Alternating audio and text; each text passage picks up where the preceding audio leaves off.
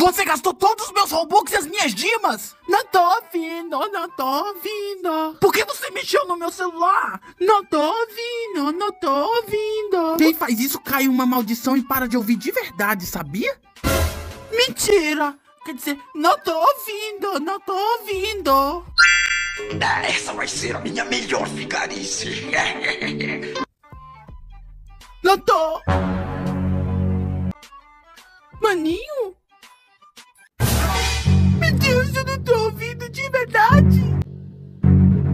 Quem faz isso cai uma maldição e para de ouvir de verdade, sabia?